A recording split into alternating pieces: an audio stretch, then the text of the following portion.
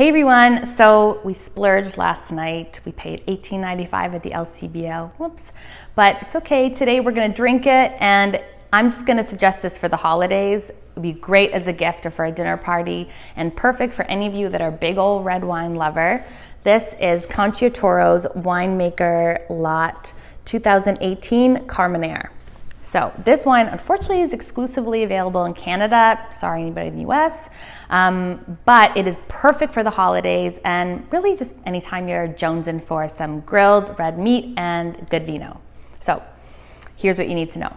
Carmenere is technically a Bordeaux varietal, but let's just call this what it is. Carmenere is a Chilean grape because Chile has Carmenere in the bag. So Carmenere really needs a long, warm growing season like they have in Chile. It hates to be cold and it needs that heat to get delicious.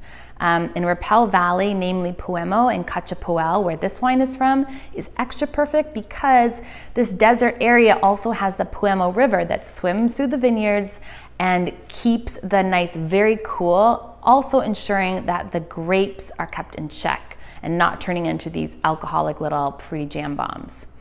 The fact that this wine is even from Peumo is also quite impressive because really almost any wine that's super premium in Carmenere from Chile is from Peumo. So you know we're getting a good deal. Next, Carmenere might be the only red wine that you can have with spicy food. This is huge. Like I've been asked this a million times, what wine do you pair with spicy food? And almost any time I'm gonna recommend an off dry white, especially with like an Asian or Latino dish that's packing some heat.